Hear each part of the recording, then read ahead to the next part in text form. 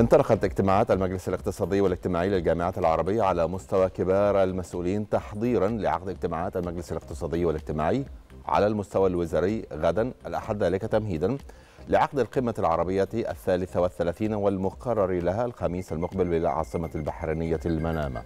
تناقش الاجتماعات تقرير الأمين العام عن العمل الاقتصادي والاجتماعي التنموي العربي المشترك وخطة الاستجابة الطارئة للتعامل مع التداعيات الاقتصادية والاجتماعية الناجمة عن العدوان الإسرائيلي على دولة فلسطين.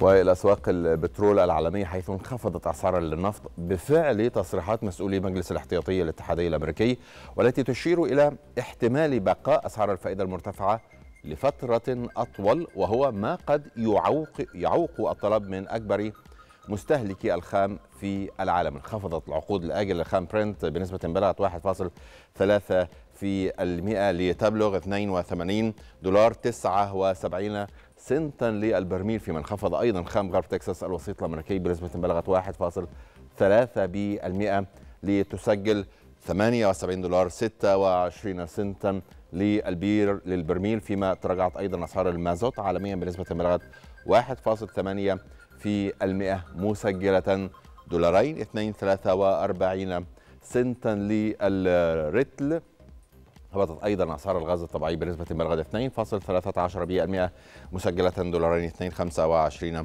سنتا وذلك لكل مليون وحدة حرارية بريطانية.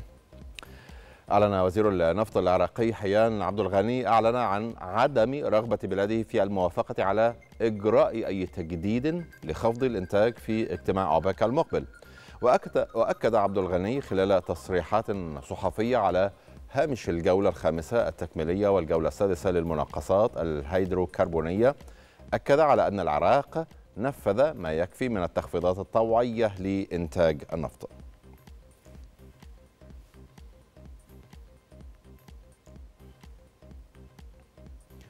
ارتفعت أسعار المستهلكين في الصين للشهر الثالث على التوالي خلال شهر أبريل الماضي كما واصلت أسعار المنتجين انخفاضها. ما يشير إلى تعافي الطلب المحلي.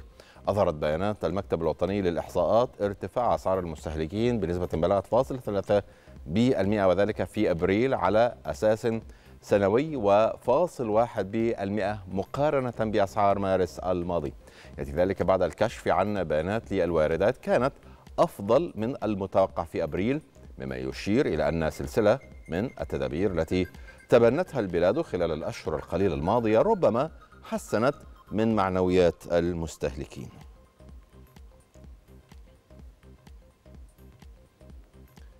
وإلى أوكرانيا حيث أعلنت وزارة المجتمعات والأقاليم وتطوير البنية التحتية الأوكرانية أعلنت أن نحو 1600 سفينة محملة ب 45 أو 45 مليون طن من البضائع أبحرت عبر الممر البحري الأوكراني منذ إطلاقه خلال الفترة الماضية. وذكرت الوزارة أن هذه السفن كانت تحمل منتجات زراعية أوكرانية مخصصة لأسواق المواد الغذائية العالمية لافتة إلى أن حوالي 108 سفن أخرى تقترب الآن من موانئ منطقة أوديسا لتحميلها بأكثر من ثلاثة ملايين طن من المنتجات لأغراض التصدير.